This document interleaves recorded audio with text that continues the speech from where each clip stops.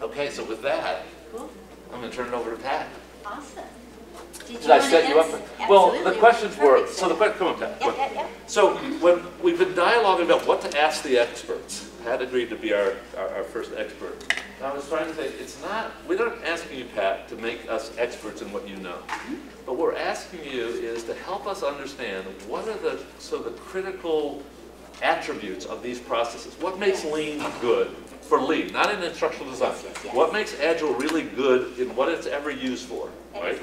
And then once you say, this is why, why is it good? So what is good about it, and then why? It's, you know, no, just make up, it's fast, it's this, it's that. And then we want to make the bridge to, how could that therefore be used in instructional design? Right. So that's the question to you. What are the key essential essence of each of these processes you're going to talk about? Mm-hmm. What are the attributes that might be attributed or use in instructional design? Cool, Is that a, is that that a fair direction? excellent. Is that excellent? Okay, good luck. Good luck. Thank you. Oh, you you. want to do your slide? Um, yeah, I can, um, I'll, as I'm setting this up, let me um, address Lance's question. Um, basically, Lance shared with us a little bit about, um, the, the challenge. One thing he invited you to do, and I'd like to echo that invitation, is you have the opportunity here to head into an entirely new frontier, an entirely new territory by applying Agile and Lean and the concepts that we cover tonight to an area that, that is totally uncharted. As Lance mentioned, you won't see any real roadmaps or instructional design playbooks of how to apply Agile and Lean. So we're inviting you tonight uh, to kind of open your mind to maybe changing the way you think. As Lance was sharing a comparison of ADDIE and an invitation to really think a little bit differently, you know, it, it struck a chord with me in terms of where Agile came from in the first place. It emerged out of the lack of waterfall development processes being sufficient to meet the demands of the day. And the parallels between ADDIE in terms of its, its origin and waterfall methodology is, is profound. So what we have to do with Agile is we have to actually start by changing our mindset. So I'm kind of skirting around Lance's question just to do a little bit of a setup to invite you to kind of open your minds and maybe think about things a little bit differently tonight because that's what it's going to actually take to discover where you can and how you can use Agile and Lean to effectively deal with the dynamics of change that Susan was telling us in terms of her experience, you know, to your competitive advantage and radically change the way you think about instructional design. You know, it's not just an, a little tool change or a little thought change, it's really quite a radical change. Now I'll kind of address Lance's question point blank and then jump into a deeper dive, you know, kind of setting you up for the hands-on experience this, uh, this evening, okay? Um, bottom line, lean, Lance had asked, what does it stand for? It's not an acronym, it doesn't stand for anything else except lean. And the essence of lean is pushing waste out of the system. You know, um, as systems emerge, you're probably familiar with the fact that there's a lot of waste that actually crops into systems. The people who actually initiated lean um, assume there's as much as 95% waste in the systems that we engage in on a daily basis. And that would include instructional design, you know, traditional instructional design. Um, so lean is really about eliminating waste and optimizing the value stream. It introduces a focus on customers and it introduces the concept of instead of those siloed territories that kind of emerged at the same time ADDIE was emerging, you know, Lean takes a look at the end-to-end concept to cash or from idea to delighting a customer, you know, and tries to actually eliminate waste every step of the way along that value stream. And it uses tools called, one of the primary tools in Lean is called value stream mapping, where you actually expose the waste. Once you expose the greatest waste that's in that value stream between the idea and the end product of your instructional design, you know, you amplify and elevate that constraint, it's called. You amplify that source, that bottleneck, that, that blocker that actually prohibits value from being flowing very smoothly through that value chain, exposes it, enables you to do something about it, and you get continuously better and better, you know, as you optimize the value stream and improve, kind of push the waste out of the system, and hence the word lean, right? Because you're moving that waste out, you're flushing it out of the system, and you're optimizing it. You're kind of making it a lean and mean kind of value machine, as opposed to you know, allowing all that waste to just sort of accumulate. So that's kind of the essence of lean. Razor-like focus on customer value and amplifying value to the customer by eliminating waste, introducing the concept of pull, pulling value through the system, you know, and exposing the waste that's in the system to continuously get better and better and better. Does that make sense? Kind of at a high level. Now, Agile emerged out of Lean. Lean actually started back in the day of Henry Ford. You know, it's getting better and better and has really been amplified with the Toyota production system. When Toyota discovered that out of necessity, they really needed to do something radically different, you know, and they implemented it, really made famous um, the work of Lean, which has then been picked up in manufacturing and has emerged to kind of uh, uh, influence all industries.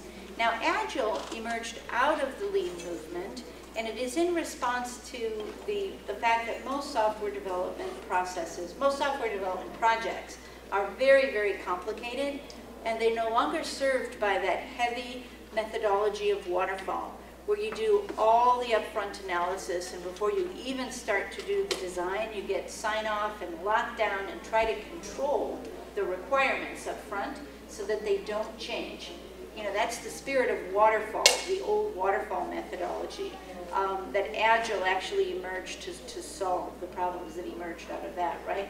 The waterfall model in software development is very, very, very much like the ADDIE model for instructional design.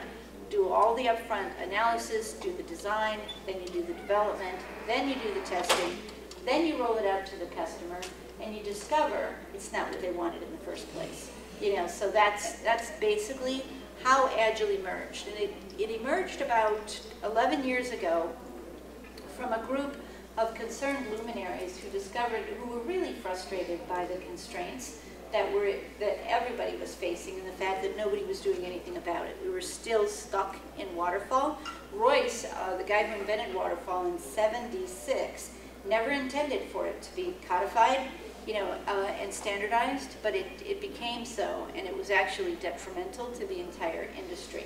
So Agile not only revolutionized the software development industry, but Agile has now expanded way beyond software engineering to all kinds of other domains, most um, prominently marketing, but uh, also has been introduced into the legal system, architecture, you know, and hopefully, with Lance and my invitation, to instructional design because I'm confident that you will see the potential benefits. And I've put a couple slides together to really kind of reinforce some of this, the uh, message that I've kind of given you uh, an executive summary on.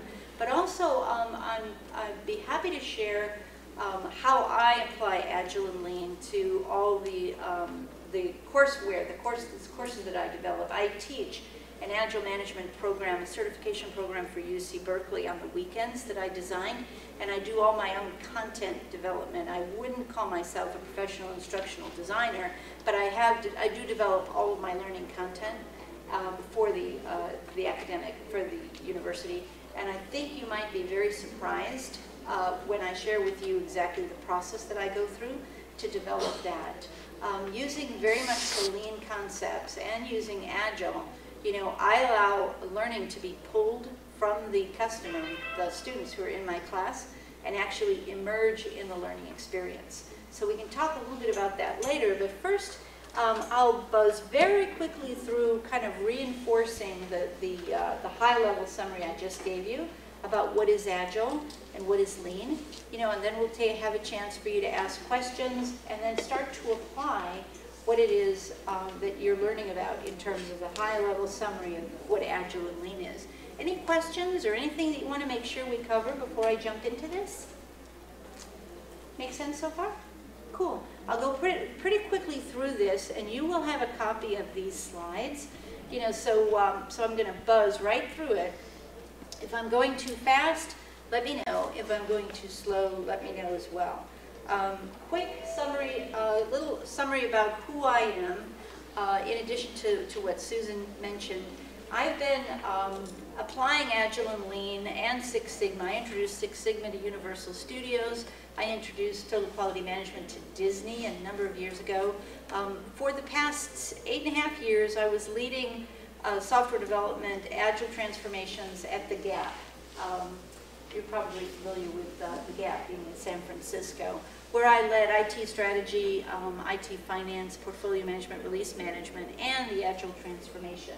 Uh, before that, spent 20 years in the entertainment business, very fast-paced industry, motion picture production, and a lot of the concepts of Agile actually emerged from Disney, you know, um, as they were making motion picture production, particularly feature animation. I supported the feature animation, I supported ABC at Disney, NBC at Universal Studios, um, so I was in the entertainment industry for the past 20 years before I came up uh, to work at Gap. And before that, surprisingly, I was in criminal intelligence forensic systems at the Colorado Bureau of Investigation, which is Colorado's FBI, um, and applied, um, Lance and I have artificial intelligence as a, as a consistency in our background. You know, I used artificial intelligence to design forensic solutions for the CBI and the FBI, worked a little bit with the department uh, in uh, California as well. So before I started my own company, um, launching um, Agile Consulting and helping large-scale organizations transform, um, I've been a practitioner my entire life, um, mostly in uh, applying technology to solve business problems, and have used Agile and have been Agile. Um, I've also been an instructor, starting my career, my academic career at the University of Denver uh, many, many years ago in the 70s, have been teaching the entire time I've been working in these corporations as an adjunct professor. And that's where I um, kind of just dipped my toe into instructional design because I always developed my own course content um, for whatever courses I was teaching. There were always courses that I sort of wrote and uh, developed content for. So that's the extent of my experience with, um, with instructional design. So um, Agile um, we're going to just briefly go over this. I'm going to time box myself to say 15 minutes because that's where the maximum learning story that I do when I ever teach in an academic setting is 15 minutes. Mm-hmm. Um, I'm confident that you're going to get totally bored if I talk any longer than that. So Agile, in the words of Jim Highsmith, who's one of the founding fathers of Agile, is really about the ability to both create and respond to change in order to profit in a highly turbulent environment. And Susan was talking about the, the extreme change that she was challenged with in her current uh, challenges. And Lance talked a lot about the fact that all of us are in probably working under conditions of whitewater change. And that's what Agile is all about. Agile is about being able to leverage and build your competitive edge in being comfortable when everybody else has experienced that duck and cover deer in the headlights kind of you know experience that most of us react to when we've run into change, right? We're dealing with extreme change. It's uncomfortable. You don't know what to do. You pretty a lot of people just naturally duck and cover, you know, and hope that it passes. You know, as Lance was sharing, it's not going to pass. It's never going to pass. So Jim uh, indicates that if we really want to use Agile and we really want to be Agile, we actually change our mindset to welcome change, to get uncomfortable with being uncomfortable, to give ourselves that competitive edge and say, I know how to deal with this, you know, where our competition doesn't. And that then buffers you from the, you know, tensions and the friction and all the negative things that accompany your resistance to change um, giving you that competitive edge. So it's really about a set of values, principles, and best practices. And even more importantly, it's about a mindset change, a different way of thinking that enables you to embrace change and to give up the delusion of being able to control change. As we talked about in, that, in the waterfall world, we assumed that if we locked everything down and froze change so that there's no way our customer could ever change their mind on anything, we would succeed. You know, that quite honestly in today's business pace and volatile business environment, times of great uncertainty, is truly a delusion. You know, we are not going to delight the customer if we think we're going to freeze change and not give them what they really need because they didn't tell us or we didn't understand it back at the beginning when we when we locked down those requirements. Does that make sense? So instead, what we're focusing on in Agile and Lean is embracing change, welcoming it actually, enabling the customer to change their mind up until the last responsible moment, and then discover and co-create what they really want, you know, in, in order to delight the customer. That's the essence of Agile, and that's the essence of Lean. And the bottom line is Agile really does require a mindset or paradigm shift, hence the invitation that we offered you tonight to really kind of challenge that. We're going to talk tonight um, more about being Agile than doing Agile. You know, because as instructional designers facing this whole new territory, you're going to actually have to let, learn to become Agile first as you do Agile. You learn through doing, not thinking. You'll never think your way into a new way of, of doing, but you have to do your way kind of into a new way of thinking. So, oops, sorry, wrong direction. Why do companies embrace Agile? Why do most of us even consider Agile? This is from a new VersionOne um, and survey that was done every year. Most companies uh, in the Bay Area, for sure, you're in the in the kind of you're in the um, you're in a hotbed of Agile right now in the Silicon Valley, so it's absolutely natural that you're addressing and applying Agile makes perfect sense. I don't I don't know of a single yes. Do I I'd just like to add to that, is, Yes. is they often call it innovation, and a lot of these companies, as they, they look at why they want to be agile, is to lead, to be more innovative. yes. And so even though that's their product they want to deliver to their customers, Yes. I think it fits very lock and step with what you're saying we, you have to deliver to them. Exactly. In fact, great point. You know, it's about that disruptive innovation that you usually find you delight your customer, right? Look at Apple. You know, Apple wasn't waiting for some customer to say, I want an iPod, you know, or I want an iPad, or I want this or that. Uh, you know, they actually uh, got ahead of that change curve, disruptive innovation. You know, and Agile is kind of well known and renowned for doing that. So great observation, right? As part of that competitive advantage, not only is it our ability to uh, deal with change, but we welcome it through disruptive innovation. That's a great example of Jim's quote of actually creating change to your advantage, right? Creating a new way of thinking about instructional design, you know, to build a competitive edge and give customers what they don't even know they need yet, you know, to get ahead of the change curve. Because they're still struggling with the deer in the headlights syndrome, you know, not really being able to, um, to really think in an agile way. So we're inviting you to embrace agile as a way of thinking, you know, and finding that disruptive innovation and ways to uh, work a little better. So at the heart of agile is learning, at the heart of lean is learning and disruptive change to the benefit of the customer. The customer focus is the S, customer value, and generating customer value is the essence. Quality comes along with it because quality is our fastest path to sustainable value.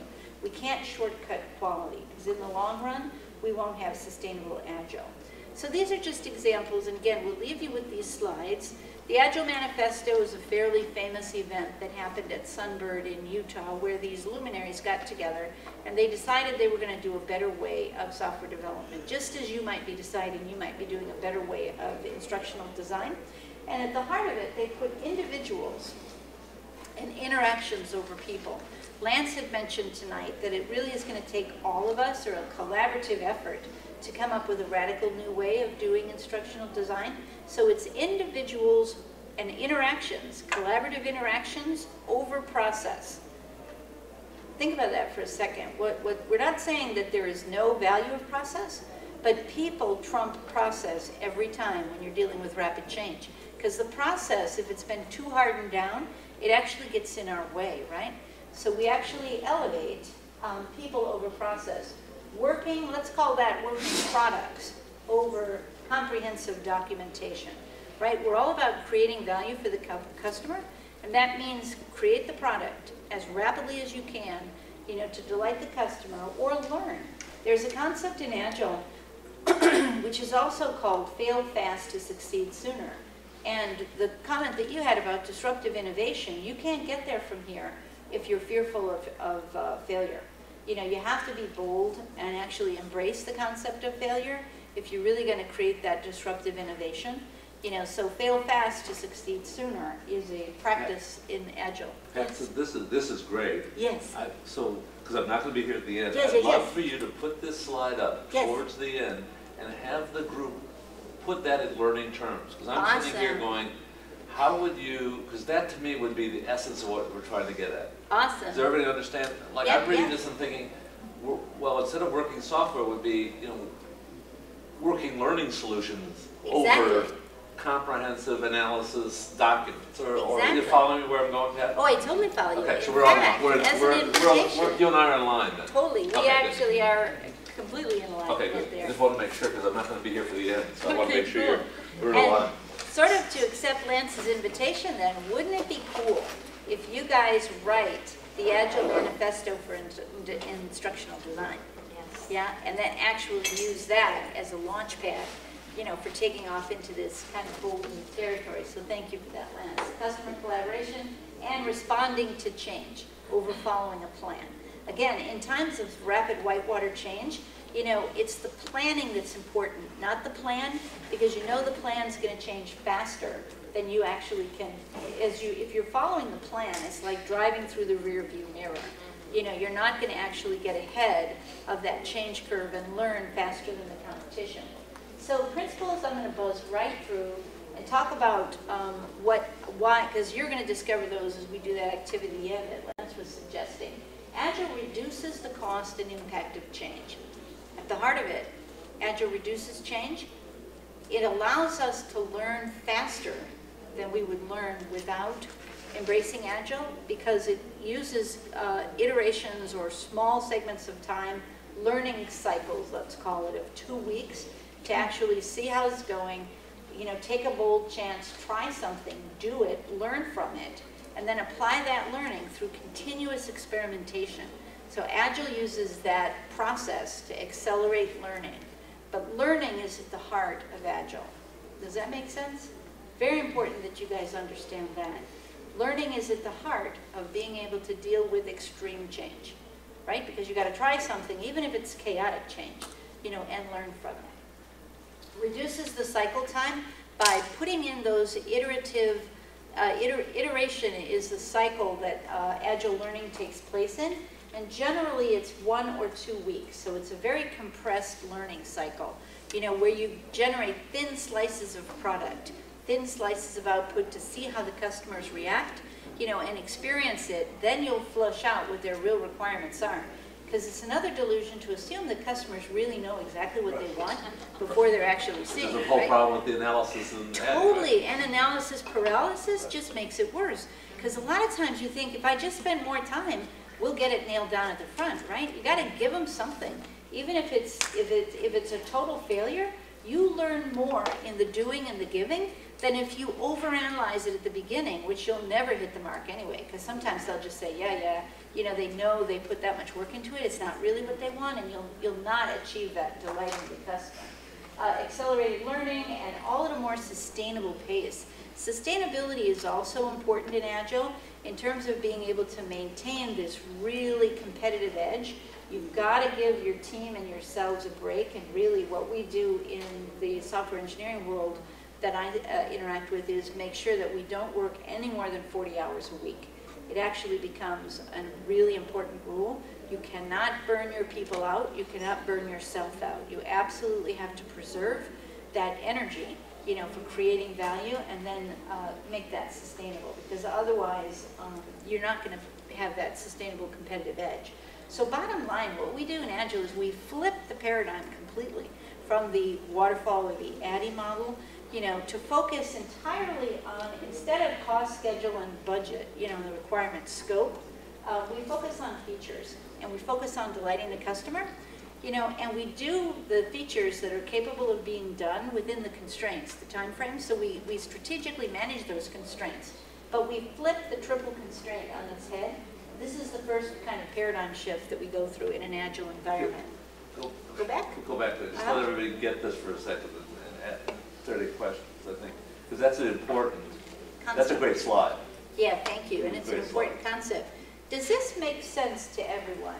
You know, a lot of times we spend all our time focusing on locking down the requirements, right? We locked them and loaded them, you know, they're not gonna change. Then we figure out what's the cost and what's the schedule, and we develop a plan, and we replan, and we replan, and we replan until we can lock this all down. It's called the triple constraint. And oftentimes the customer or the client you know, tries to lock down all elements of that triple constraint, which turns it into an iron triangle of impossibility. We're all familiar with that, you know, the, the challenge of that, right? So we flip that whole thing on its head. You know, in Agile, what we flip on its head is we focus on features. What do you want? We'll tell you how long it'll take. We'll tell you the, the minimum viable product that we can create in the least amount of time for you because we've been compressing our value stream and pushing out the waste. We get better and better at this all the time, right? So just tell us what you want and we'll tell you what the cost and the schedule is. And if any of these constraints are bound, in other words, a lot of times we'll be dealing with customers who are locked into a schedule constraint, right? What, what I like here is when you say, tell, a lot of people are gonna say, well, people don't know what they want. Yeah, And I love the phrase, the vision creates feature estimates. Exactly. Like asking them, what's your vision? Totally. You don't have to be specific, but give us a, a- give us a, maybe you could talk a bit more about that. yeah, it's, you mean it's by the great vision. that you picked that up, Lance, because remember, the customer rarely knows exactly what they want, especially if they're bound by their own paradigms of the way it's always been, right? Just give me what I always have, only better. And you should know what I want, so just show me. And then, but, but it's got to be within this fixed budget, right? Whereas if you start by looking at what does the customer want to do with what you're giving? What are the learning objectives? What does success look like? You start by defining the vision of success, the future vision of success, and then you co-create it together. That's the other thing about Agile and Lean. You work in lockstep with your customers, or at least a customer focus group or a customer proxy that represents your customer's knowledge, right?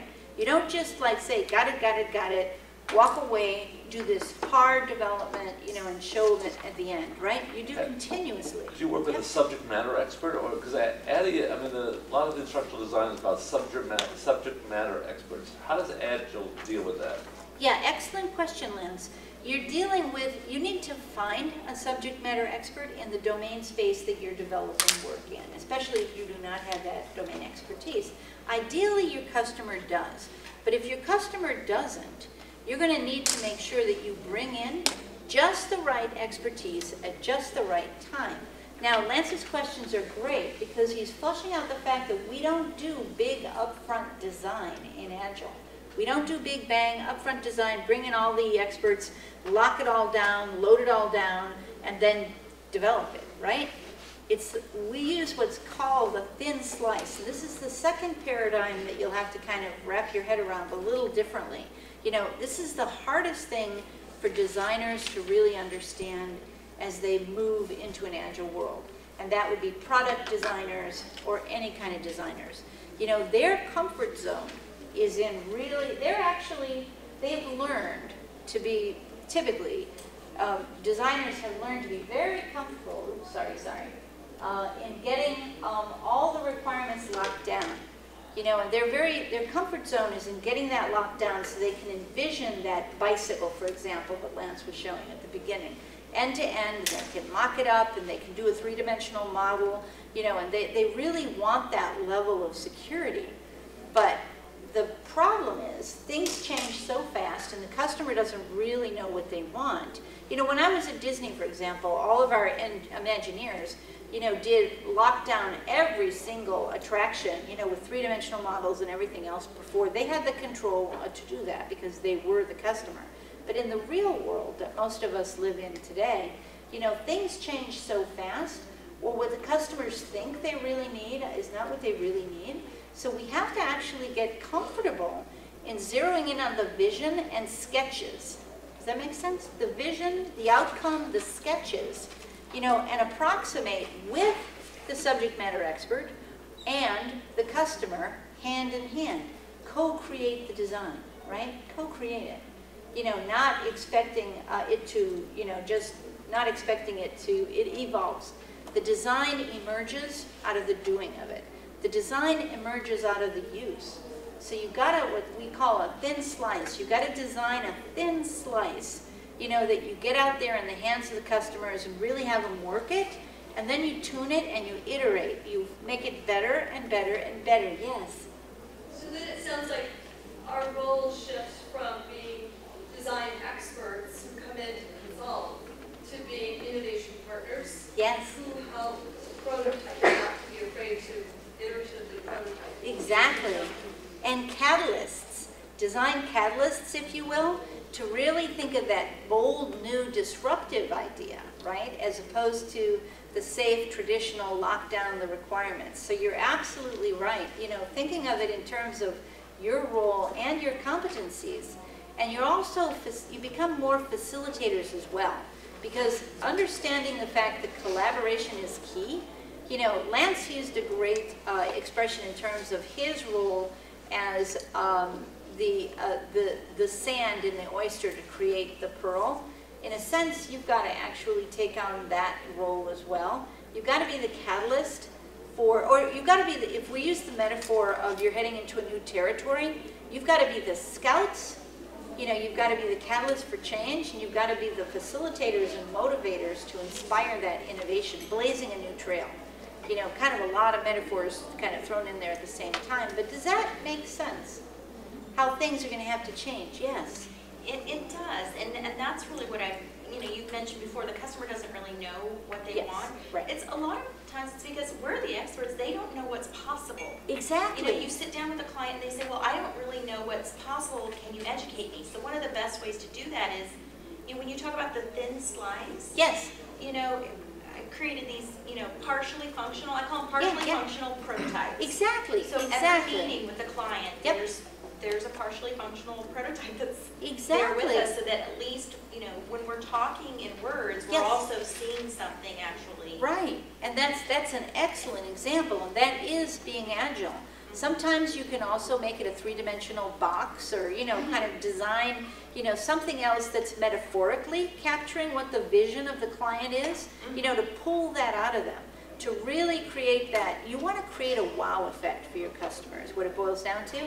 Agile, with a focus on customer value, wants to create that disruptive customer value, not just like what you think they want in a conservative approach, but that like, wow, you know, and being adaptive. It's got to emerge, it's got to be adaptive, so your role does change. And one of the tools that you have that you're already using is that rapidly emerging prototype, you know, that you demo, you get them to interact with. You know, you get, you're trying to get full engagement from your customers, you know, so that you guys co-create the design.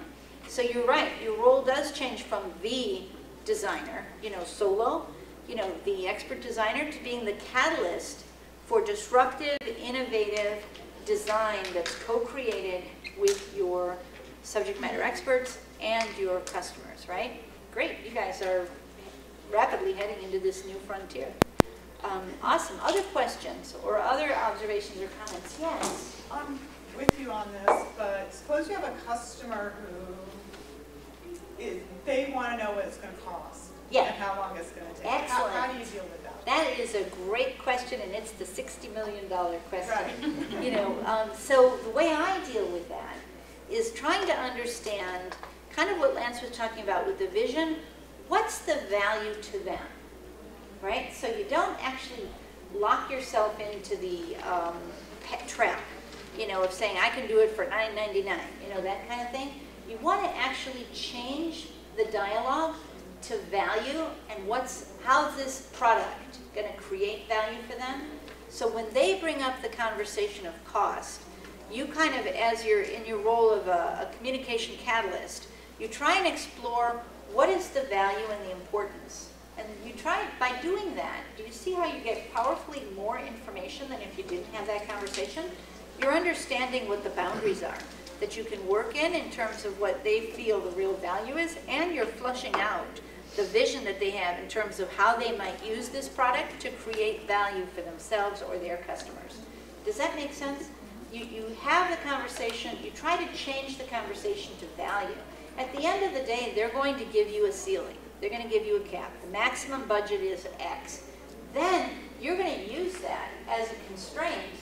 You're going to use that cost as a constraint to influence the features and the schedule. See how these three work in uniform, in unison? You know, you will, you, you don't want to jump right into the budget discussion. You want to talk into the value discussion first, till you get together to the, to the, to this uh, actual budget. But then you use the budget to actually influence the features that you can deliver within that constraint. You see how you've actually managed that iron triangle, that triple constraint? By elevating the conversation to value and customer value, which Agile is all about? Great questions. Does that make sense? Cool. Excellent. Yes. So what if you work for a nonprofit and they have no budget? Excellent. That's, these questions are awesome. You know, what I do with nonprofits and with, um, and with, with, uh, um, profitable, uh, focused companies is the first thing I do when I'm actually starting to work with a client is I try to understand their value model. And so when, I'll give you a very specific example, one that I was doing for UC Berkeley. Um, the profit model, I mean, sorry, the value model for UC Berkeley is completely different than, let's say, the value model for Walmart, both my clients. Um, you can imagine, they're like totally, you know, different ends of the spectrum. UC Berkeley's value model is prestige in the industry in terms of creating knowledge. Does that make sense?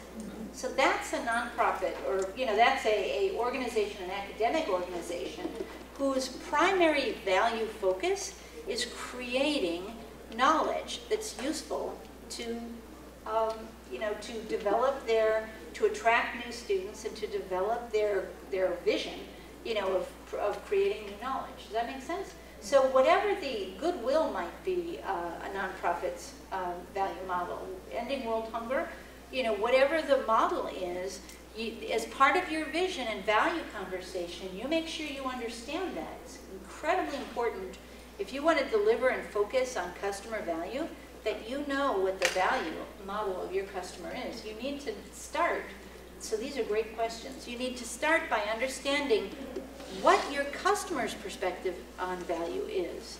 And don't let your value perspective influence your customers. You've got to go in with a total empathy map on your customer, right? And Could I- understand their could I view of just value. Piggyback on this, Yes, a nonprofit still has money. yes, All, all, it it does, or it'd be out of business. it, it has It's to just- have sustainable So the value conversation is, that money is being spent on something, Right, right? No nonprofit can operate without money. So, just like Berkeley can't operate without money. right. So the They issue is, grants. how do you get, how do you get the money? How, how do you, is what you're going to do valuable enough to the organization? If it's the not, cost, then it shouldn't be done. Exactly. If you can't, you know, the, the nonprofit's a great one. Yeah. If it's just not valuable enough, don't do it. Yeah. And that's the, that's the essence. Sorry to interrupt you. No, no, it's that- great, that Lance, it's great. And that's the essence of, of starting with a value model. Because the one thing we often forget is how do the customers truly measure value? You know, that's the heart of Agile. Really being able to measure value and being able to amplify it in such a way that everybody knows what that value measure is, so that everybody on the project team, you know, has a clear line of sight to what that customer perceives as value, So I'm gonna push you one more. Yeah, yeah, yeah, go So, for it. I'm sitting here thinking, I get it, but Yeah, yeah. does Agile have techniques of how you have that conversation? Because I think everybody gets, I've been The in concepts. design, and I don't think any of this is surprising anybody. Go, yeah, yeah, I want to have a conversation about value. Does Agile have any tools, techniques, processes that help have that conversation? Um, there are no cookie cutter tools Okay. that help have that conversations. There are technique tools um, that Agile uses. There's a lot of practices and, and models in Agile that I intended to sort of steer away from tonight um, because when we're really learning, we're really trying to learn how to be Agile. It's not so much about the tools, but I will share with you guys, if you're very interested in this specific topic, an example of a local um, company that's perfected the design of a value model, Intel. Intel's done some pioneering work on this. This would serve you better than a cookie cutter agile tool. Intel's done some amazing work. They put some of their best engineers on a five-year project, partnering with their HR people, partnering with their finance people, to develop a quantifiable and repeatable value model for how Intel measures value. And when, I'll send you guys the white paper and the worksheets that emerged out of that study, and when you see how, how Intel used Agile and value modeling to totally blow away the competition and create a competitive edge for themselves that was like shattering. You know, you'll see how they've done this, and you can use that as an example. So I can, I can share with you examples of what other companies have done, but um, generally what I do is I, I kind of veer away from models. I- I'm going to give you a little bit, a deeper uh, explanation of that. Um, Bottom line, because of the rapid change, You don't want to get too hung up on a specific tool or a specific model because each transformation or each organization that you work with is going to have, need a unique way of dealing with the change that's dynamic there. Very specifically, if I'm working with Berkeley, and when I go and work with Walmart or Visa, where I just came from today, I don't try and use the same model I use at Walmart for Visa or Berkeley, right? I try and kind of elevate it up to kind of pull in the best of models, and we'll pull in the Intel model, but we'll always customize that model. You know, Ericsson down the road has another great example of how they've applied Agile to innovation and create uh, disruptive innovation. But um, I, I kind of discourage cookie cutter approaches to that because uh, it's far more, I found it to be far more valuable to focus on what the customer needs and have that conversation very focused on each individual customer, pulling in, having a toolkit, building your toolkit to be robust enough to use Six Sigma, to use Lean, to use Scrum, to use XP, those are all models and tools. You know, use what's out there, you know, to serve you in service to your customer. I hope that helps. But I can share with you um, all of the popular tools that are out there as well. Cool, great questions, you guys. We're sort of deviating from our plan, but I think it's, it's uh, if, if it's cool with you, we'll keep this pace up. Is good with the questions? And do toss out those questions as they emerge then. Um, as Lance had mentioned at the end of these, uh, these slides, I've got very specific thought-provoking ways that you might apply this to instructional design. So it's great that you're, um, you're actually doing this deep level of thinking and questioning as we go over those. So how do Agile teams work? What's different about the way Agile teams work? You know, they uh, maximize communication. If you understand that this real disruptive innovation comes from collaborative work, you make sure that you maximize communication to every person on the team. And they do that typically by using different extended channels of communication, not only making sure you have two-way communication, but Agile uses, some of the tools Agile does use are what's called big visible walls. Everything gets up and on the wall so that everything is transparently shared with everybody and you focus on really the highest value uh, work. But in an agile environment, you're going to see walls plastered, every conceivable space. Floors are used, walls are used, story cards are used. Anybody can walk in and get a sense of what's going on in the project or the team or wherever the project is. Oftentimes, we'll also use kind of empathy maps on the wall to make kind of get a, a reading of how people are doing. One of the things that Lance uh, often talks about is the importance of measuring return on attention, ROA. You know, we, we uh, in Agile, we pay attention to not only how people are spending their time, but also return on training investment time. You know, ROTI, R-O-T-I. You know, that's a, that's a chart that we use consistently. You know, trying to amplify feedback however you can in the environment and the culture that you're working in. You know, you want to get that open channel of communication and communicate, communicate, communicate. In times of change, you need to communicate even more extremely than you normally would as seasoned professionals. Um, Self-organizing, very important to give up. Um, management's role changes significantly. They need to remove blockers, but let the team self-organize. So once you've stood up your team, once you've got your learning objectives out there, once you know what the outcome is going to look like, if you're leading the team, you need to actually enable the team to self-organize, right? That truly empowers the team and it activates their full potential. You know, um, that's a lot different than traditional management where you come in with a task board every day and you say, I want you to do this and I want you to do this and it should look exactly like this and I want it to be done by noon. You know, that does that conversation doesn't happen in an agile world. You know, you flip that whole conversation, it's part of the paradigm change as well. Um, agile teams, it's important that you assemble, Lance had questions earlier about SMEs, it's subject matter experts. It's important that you assemble all the talent and all the skills you need before you launch a design session, right? You need to get everybody in the room so they can hear all the requirements at the same time. Kind of like IDEO Labs does. You're familiar with the IDEO Design Lab? You know, they make sure they got everybody in the room, they focus and then they get out of the building and actually watch their customers in action to kind of build on that. Yes? Okay, so you talked about everybody in the room. Everybody in the room. Is it a physical room, a virtual room, or both? You, you, you named it right, because very rarely do we have the luxury of having, for most multinational global companies, we generally don't have everybody in the same physical room. So let's use that figuratively, and I'll give you a very specific example. When I was at Gap, leading the Agile transformation there, all of our teams had members that were in Brazil, or in China, or in India. So in the room, like say for example, if this was the room, you know, we would have um, big uh, vi video screens and we would have full-time uh, Skype access to the team members who were remote. When we were having a team meeting and we had all the team members sitting around a table, we get very comfortable with having a big video screen at the end of this table here and a big video screen at the end of the table with the team members in Brazil and we just go around the room and then we hand over to the Brazil team and they go around the room and, and, and it, it equalizes and normalizes the challenge of distance, right? But the spirit of your question is a really good one.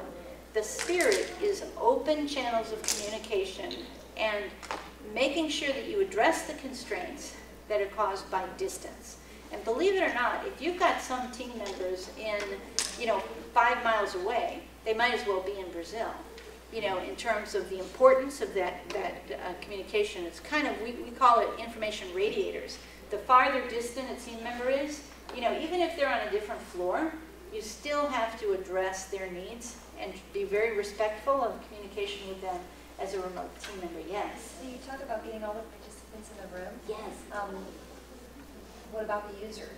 Yes. This is gonna end up being for at the end. Do they- Yes. Do they bring those people in as well? Exactly, good question, right. And you rarely will have, uh, let's say your customer is a uh, preschool uh, user, let's just say. You know, you're probably not going to have the preschooler in the room, but you need to have a SME who's a proxy, a proxy representative of the preschooler in the room. And then you need to test, like IDEO would, the IDEO labs, you know, go to a preschool environment, watch the preschoolers interact with a prototype of your, you know, so you might have to go to where the user is. But you always have a customer proxy in the room, you know, representing the voice of the user, and that person is the representative of the user. Um, ideally, they're on the project 100% of the time, or 100% accessible to you, even if they're not in the room, right? Because reality has some constraints, but you know, I mean, that's the spirit. The spirit. You guys are, are really asking good questions in terms of the spirit of lean and agile, in terms of how you would deal with the natural constraints that you run into in the real world. Um, um, they have very, um, daily stand-ups are one of the tools. Lance was asking about tools that we typically use.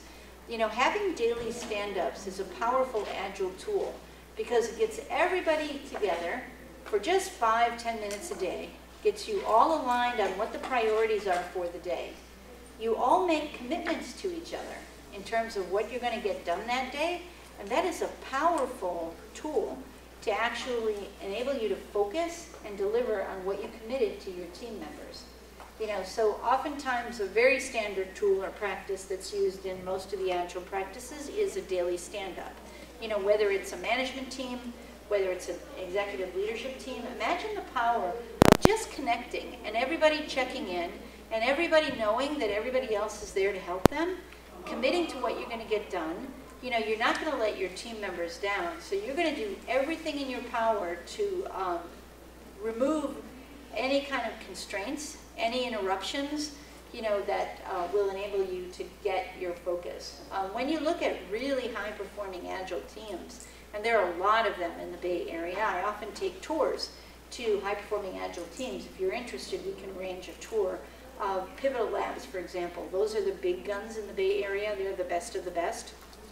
If you were to come with me on a tour to Pivotal Labs, and you can see the tour of Pivotal Labs online, I'll send the link, as, as well as the Intel material, you will see that these guys are um, like a machine in terms of effective design and effective. They nail every single project, and you know how hard that is. You know, they've got a reputation that is absolutely unbelievable. And what they do is not only do they have company-wide daily stand-ups for five minutes in the morning to really pull people together and kind of get them charged up, high energy for the day, but they have no email engines or clients on their desktop, right? You can't get email if you're at Pivotal, right? No interruptions from email. You have one kiosk, you know, by the bathrooms, that if you absolutely have to go check the, with the outer world to get um, your emails, you can do that during a break, but you're not disrespecting the team member who's focused together. They pair um, very aggressively. In Pivotal, there's always two people working on every single thing at the same time, right? You've got the best of two minds working on something. It gives you, that has been proven, pairing has been proven to give you exponential returns on the productivity. Because the energy level that goes into two people solving a design problem at the same time is far greater than the effort of two people, right? The, the outcome, the product, is far more beneficial. It's probably the most productive uh, way of working, uh, pairing. And pivotal pairs, they rotate pairs every day. So let's say we as a group here are on one team. We will rotate every day. We'll self-organize with our rotation. What do you think that rotation achieves? Full redundancy, optimal productivity, great respect and teamwork, you know, great bonding, and most importantly, knowledge transfer. Because everybody in this room tonight, I am totally confident, has a domain expertise that you know exemplifies you from the rest of the group. Imagine everybody pairing with everybody else.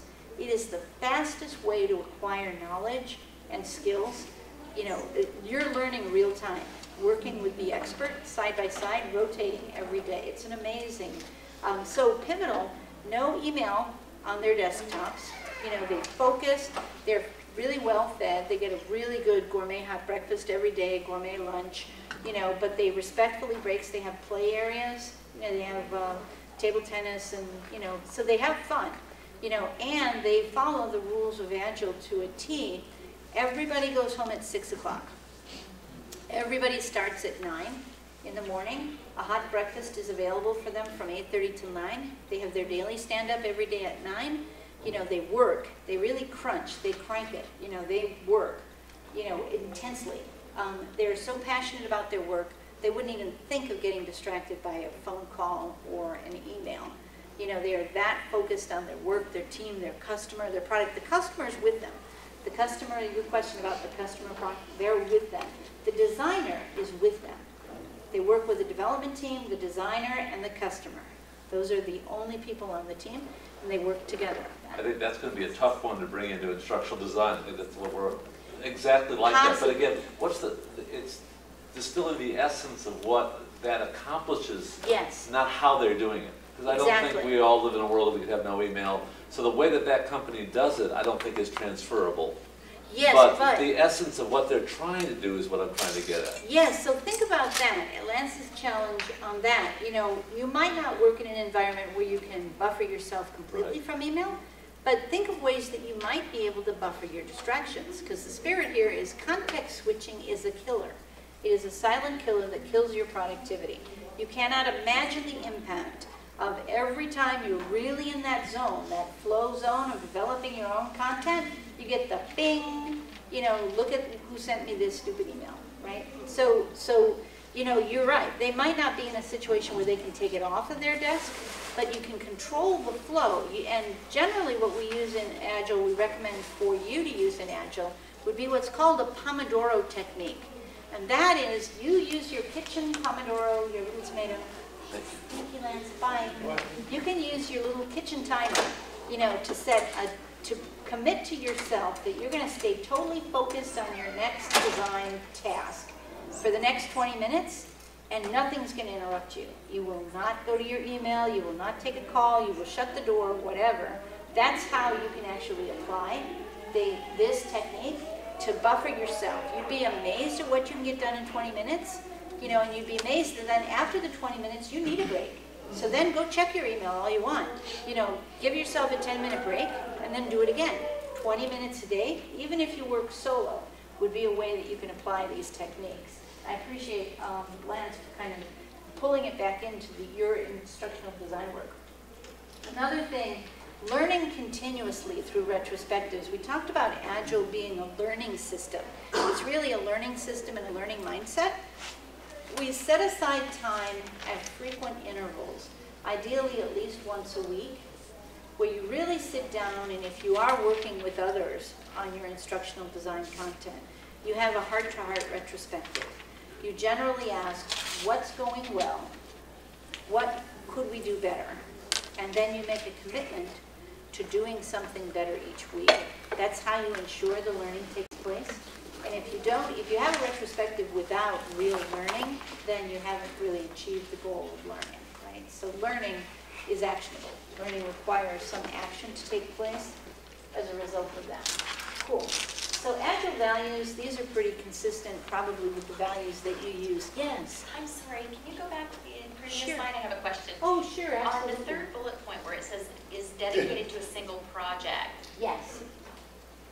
So that would, in an instructional design world, I would think, that would mean that if you're working on a particular learning objective, or if you're working on a particular outcome to a product, mm-hmm. think of it, to a product for the customer, is that you try to stay focused on that product, very much like the email example I just gave, right? What happens is, and I'll give you the empirical data to kind of support this. If you're being pulled on two different content development tasks at the same time that are different, your productivity on both of those goes down by at least 20%. Context switching, you know, it's totally like, agree. and if you're working on three, you know, where push-pull, I need these both by tomorrow, you know, um, your productivity goes down on all three of them by 40%, right? And it gets worse and worse, it's exponential. So the same example we just gave for email, you know, the email interruptions, it's incumbent on you as leaders to carve out the time to zero in on one, to get it as much done as possible, and then take a break. And if they both have the same demanding timelines, that's reality. But by you controlling your environment and your focus, and allowing yourself to get into flow, by giving yourself the 20 minutes to work on this, and then you set it aside and honestly commit to giving up that focus and giving yourself the next 20 minutes to work on the next one, then you'll achieve this. Even if you don't have the luxury of working on a single product end to end, right? You have to, you have to buffer. You have to build in your own buffers, yes. You do morning, afternoon. Yeah, morning, afternoon is perfect. One context in the morning, one context in the afternoon. Totally, right. And the, and the value of that is really, you commit to yourself, you're not gonna waffle, you know, oh, I forgot this, or let me follow up with that, or, t- you know what I mean? Once you make the commitment, mornings are for product A, afternoons are for product B, that works beautifully. Right, yes, Now let's throw the fire in there. all right, Yeah. because There's always that's- fires. That's the world my team lives in. yes, We're focused on products. yeah, We got hit two weeks ago with a big fire, yeah, and it was a matter of throwing everything up in the air and reallocating priorities. We totally, still have a deliverable, we have to, we have a fire, we have to fix this. We totally, have limited resources, and of course, if you're fixing the fire, it's limited time. totally. Everyone lives in that world, I guarantee you that. I just came from Visa when I came here, that's all they talked about, capacity and how they fight the fires and the, the reality, you know, so it is, it is a reality, right? It's, it's the reality. So the most important thing for you to do in cases like that is find a way to really prioritize what's of highest value. Going back to the value map we talked about earlier, right? Sometimes fires, sometimes people get um, habituated on creating fires so that they can, you know, get, pull your attention. Sometimes fires aren't really fires. You know, I mean, production being down or, uh, you know, you, you'll know, you'll be able to measure that, you know, but ultimately the reality is then deal, divide and conquer, but learn from it. So at the end of that, or look for patterns is what my um, advice to you would be. How often does that happen? If 80% of your time, i- your team's capacity, sorry, is consumed by fighting fires, then you need to actually start to plan for the fires. And actually don't plan on new development content work to be done. You know, carve out the buffer, it's called buffer in uh, lean. You know, it's like elevate the constraint, find out the source, the root cause of those. Is it a quality issue? Is it a training the uh, end customer expectation setting issue? Is it a manager issue? You know, you're kind of trying to find the root cause of those fires and uh, actually try to address them at the source. And the most effective way I've found that we deal with that is through um, data, you know, trends of data. Let's look at how disruptive our normal plan planning patterns are by firefighting, and then try to buffer the capacity of your team to handle the fires, to manage the flow. Remember when I was talking about lean at the beginning, it was the flow of value?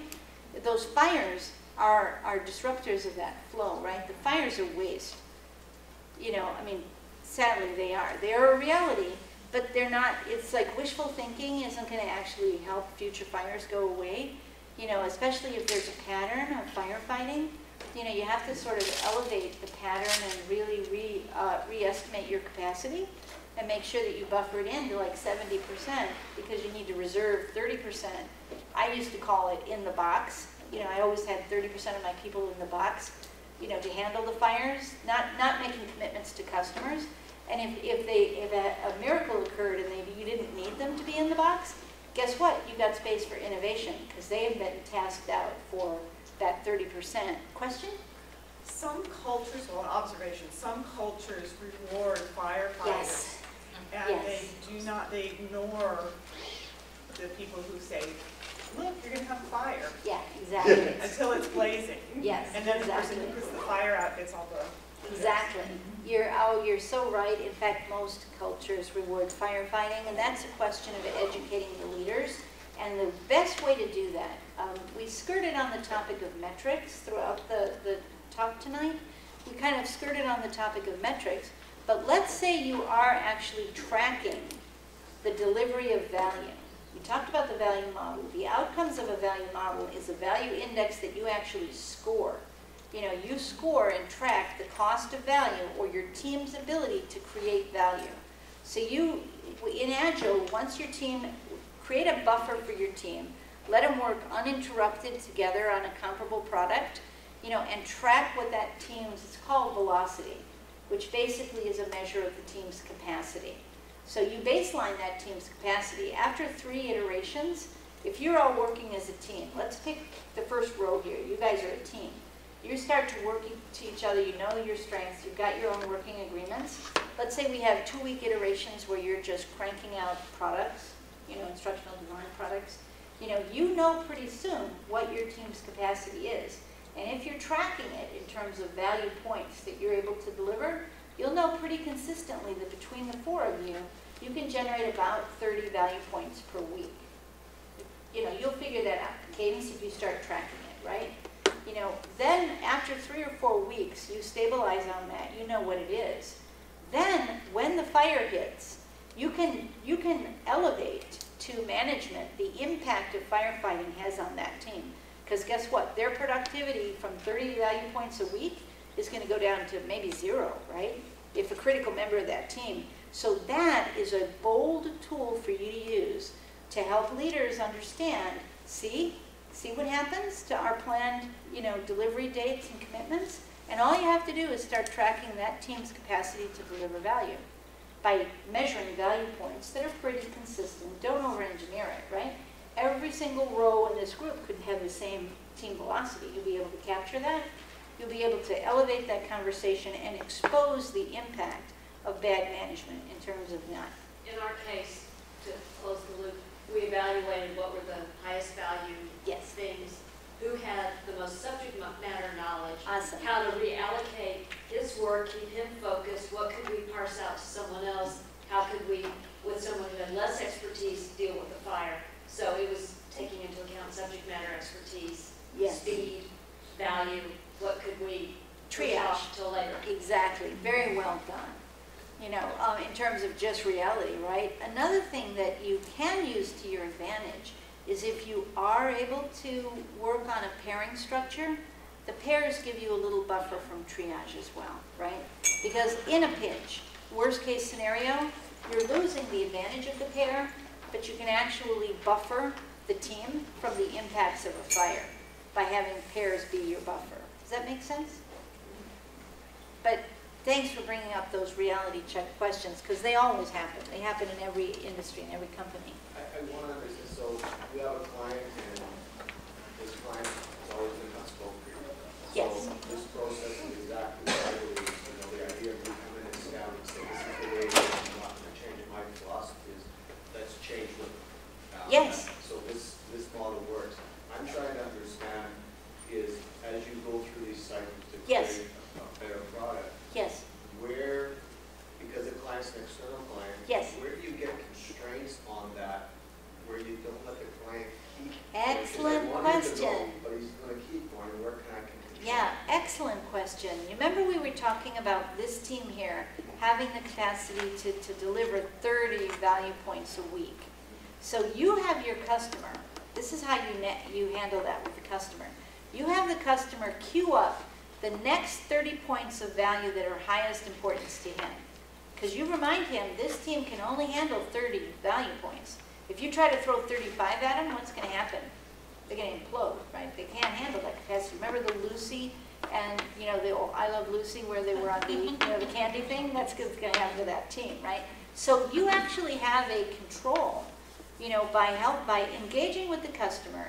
They have full choice to identify what are their next 30 value points that are of highest priority.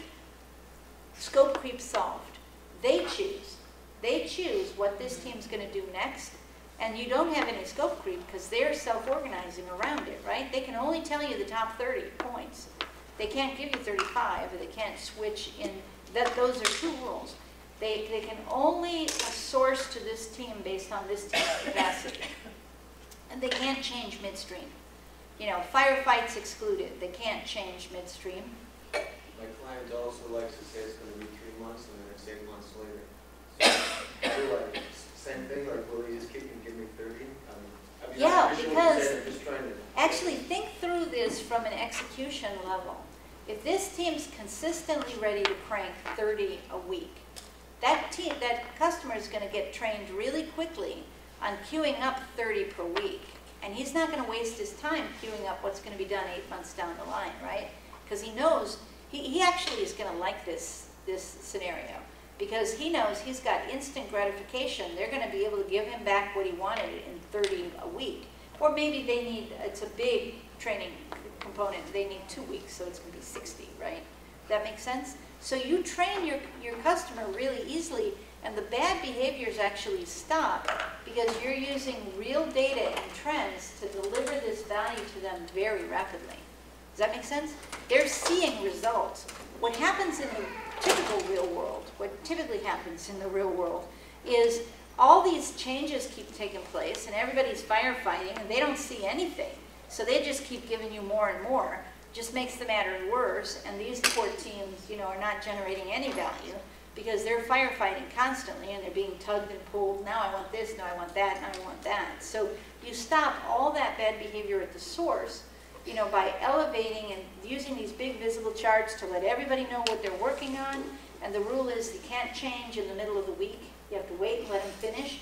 You know, the, the rule of that is start finishing and stop starting, you know, kind of the, so let them finish. Um, that's kind of like the, the golden rule. They, they, the customer can't change their mind midweek. Once they, once they commit to what they want that one week, they've got to let these guys deliver. And the manager's role is to buffer the firefighting and try and find reinforcements. And if they have pairs, it's going to help them. Yes. So I kind of have a situation with a client sort of like this, where I, where I've done part, and I want to check with them and say, so is this what you're envisioning Yes. right now? And they're always saying, well, I'm too busy to do that right now. Yes. So that, that weekly back and forth check, how do you make that happen? It's a, it's a really good question, and it depends on how bold you want to be with it. You know, if we were, if Lance were still here, I would hazard a guess that Lance would say, okay, if you're too busy to give me feedback, I'm too busy to do your work. You know, and that's generally what really good agile leaders do, right? They make up the rule before you even get started. You know, we have a working agreement. So we use working agreements as a, as a popular tool in Agile, where we say, okay, you're going to be available for us. Even if it's only 70% of your time, whatever, you make that working agreement, you make a commitment, and if they're too busy to give you feedback, then you're too busy with other clients to, you know, and you have to actually you know, sometimes sort of a, a tough approach like that is exactly what they need because it's in their best interest. Because if they don't give you the feedback you need, you're not going to give them the product they need. And then it's going to be lose-lose as opposed to win-win, right? So you, but you can't, here's the danger, especially if they've become acculturated to that, that they've been able to slide, it's really hard to change midstream. For any new clients, you make the working agreement that this is the deal, we shake on it. And then um, you can enforce it. You know, because when you do a working agreement, you give each other permission. In fact, you make it mandatory that you call each other on violations of the working agreement. The last element of your working agreement is always, if I demonstrate any behavior that is inconsistent to this commitment I just made, it's incumbent on you to call me on it. Because if you don't, then we're both at fault, right? So we need each other to call each other, yes.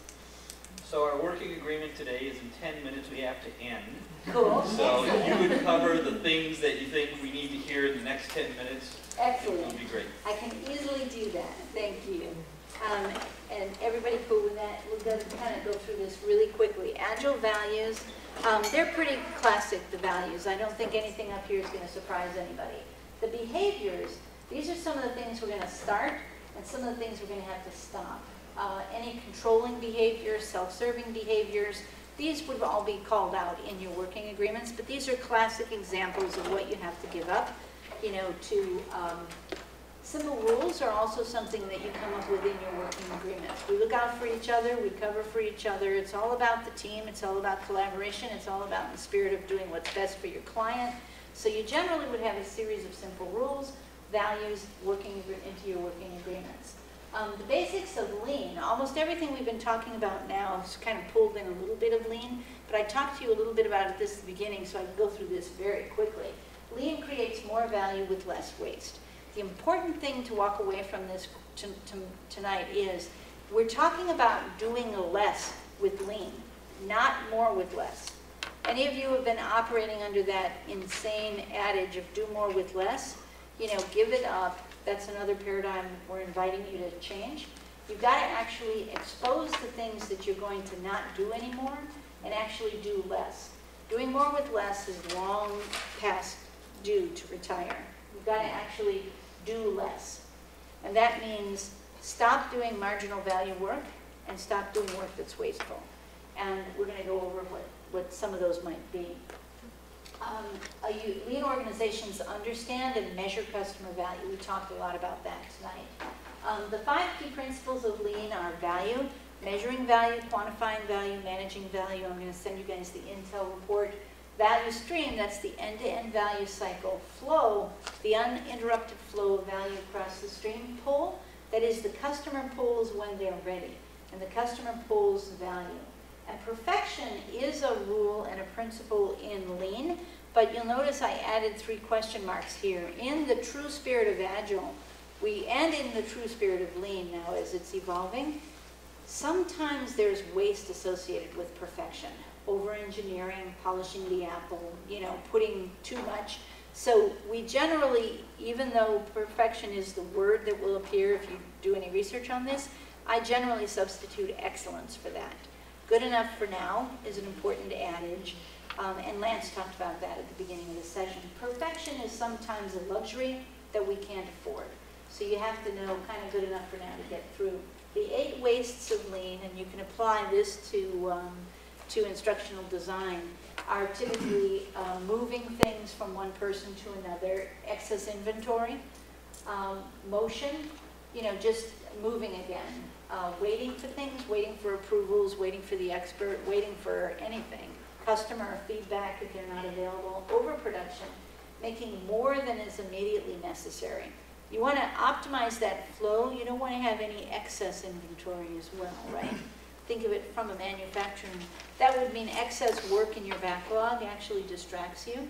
Um, overprocessing, defects, and skills. This is a big one that's often overlooked. Making sure you've got the right people with the right skills and that you take the time to, to train your talent and do skill building for yourself, most importantly, and for your team as well. So how we can apply Agile and Lean to instructional design? Um, the challenges ahead of us are always going to be outside of our current comfort zone and repertoire.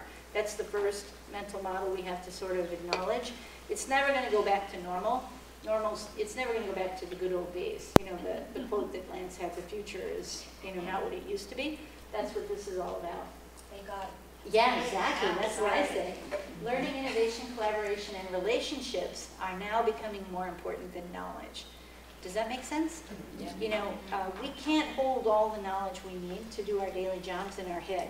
We need to rely on each other's, we need to build our network, we need to build our ability to learn and get access to just-in-time information using all the tools at our disposal. Um, as agile instructional designers, we need to focus on the essential and eliminate the expendable. We need to be able to adapt quickly to the changes in our environment, uh, network, and leverage the collective wisdom of everybody in the group, as well as all the experts that are out there. You guys living in Silicon Valley, you have an abundance of experts um, all around you. You need to actually welcome change. You know, change your mindset to not actually fear or kind of, you know, run from change, but actually say, cool, you know, this might not be real comfortable, but I'm going to do that and be prepared to be unprepared. So what can we learn from lean? Eliminate waste, amplify learning, decide as late as possible, deliver as fast as possible. The decide as late as possible is one we haven't talked about yet, and that's considered the last responsible moment. What happens, many of us, you know, in our quest for perfection, we want to get started real early, we want to kind of get an early start on things, but as things change, it's really, we're best in the best position to decide as close to the deadline as possible so that we can actually leverage the most knowledge about the product that we have to deliver because the customer might always be changing their priorities. So that's something we want to try and get comfortable with as well. Know what that is, but actually decide as late as possible, and the way that's called is the last responsible moment. We saw that tonight when Lance showed up like right on demand. That was a perfect example. He was able to recover at the last responsible moment. You know, and that was just out of necessity, right? deliver as fast as possible, empower the team, build integrity and quality in, see the whole end to end. It really helps to have a holistic way of thinking as designers. I call that zooming out, see the big picture, zoom in to see the individual piece you're working on, zoom out, zoom in. Kind of that's a skill. It's really important. Um, and think that lumping it all together, it's think, act, and a think big, act small, fail fast, and learn rapidly. Don't be afraid to fail because generally it's in your failures that we as adults learn the most, right? It's like, oh, geez, I'm not going to do that again, right? And you have those profound aha moments of learning. Ideas, understand our customers, know how they measure value, um, precisely specify the value of any new product. Really make sure you work with your customers to understand what's their perception of value in that. How are they going to use it to make better decisions, to disrupt innovation on their whatever it is, try and be as precise as you possibly can of measuring that and how, will, and how you will know when it's done. That's another important thing you can learn from Agile, definition of done. We will be finished with this product when? What's the done product look like? So you put boundaries around it so you can manage the constraints that you're going to need to to actually deliver on this. Look for opportunities to experiment with thin slicing. We talked about that with your prototypes you know, get stuff in front of them, even if it's paper prototypes.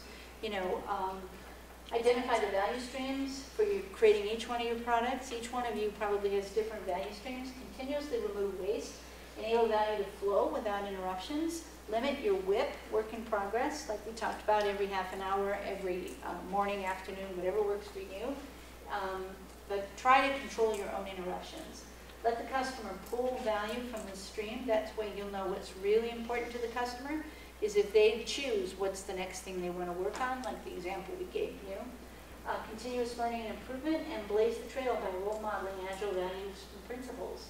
Agile instructional designers increase ROI by making a continuous flow of value your focus. You deliver your reliable results by engaging customers in frequent interactions, as frequent as possible, and shared ownership for the results, that's really important. Their skin needs to be in the game, your customers. Um, manage uncertainty through iterations, adapting, you know, and anticipating, doing risk assessment, finding patterns, like how often you have to fight fires, how often your teams are pulled, and find adaptive strategies. Unleash the creativity and innovation that recognizing that individuals are your ultimate source of value. It's about people, not the process. So give the process up in the spirit of enabling your people and creating an environment where every single person can do the best they can and make a real difference. Boost performance through group accountability. It's really important for everybody to be accountable for making their commitments in, a- in, an- in, a- if you're working as a team, right? Um, and improve effectiveness and reliability through situationally specific improvements, like you were sharing with how you handle fires. You know, situationally, you're trying to make, make that better and better, but you're trying to boosting performance every step of the way. Cool. Um, you may be familiar with the growth mindset by Carol Dweck. If not, you might want to look at that and see how you might uh, incorporate that into your paradigm shifting. Um, and you'll get these slides. Um, so the fixed mindset is, many of us have fixed mindsets where we really think everything is predictable. A growth mindset understands that you can't control everything and you have to actually adapt. Um, again, these uh, mindset shift here is to embrace uncertainty and embrace change. Um, start. This is how I do my uh, design. I start with an empathy map. I build uh, learning stories. I let the learning emerge, and I have a very small shell of learning objectives and a backlog of learning stories in the classroom. I let the students pull what they need to learn, and so I adapt my learning environment with every single uh, scenario. Any of you are welcome to come to any of my Agile Management classes at UC Berkeley on campus, one starting Saturday, um, to observe kind of how we do this. It's kind of mind-blowing, but it creates a learning experience that's unbelievable for the students. You know, I could tell you stories you you would not believe. Um, so I start with an empathy map. Here's my agile approach to learning instruction design. And uh, be prepared to be unprepared.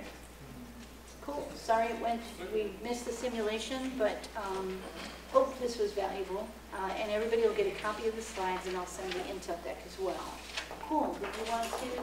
Just want to say thanks to everybody. Please uh, give us your information card. Remember to take your name tag with you, but give us the holder. And October 16th is when uh, we'll have another meeting here.